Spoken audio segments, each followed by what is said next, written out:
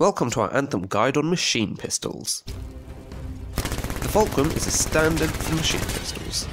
It's got average power, low range, a great rate of fire, and a quick reload.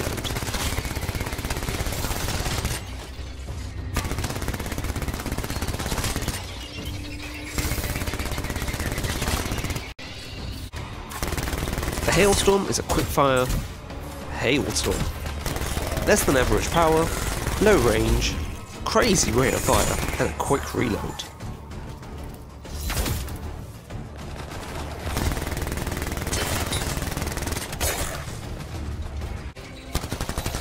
The Trajector is a poor balance between power and ammo really. It's got good power, average range, quick rate of fire, and a decent reload. All in all, the Trajector doesn't really deliver enough power for its low ammo. The Fulcrum is a good choice for fast damage output, but really, if you want close combat, the winner here is the Hailstorm. See you on the next Anthem weapon guide.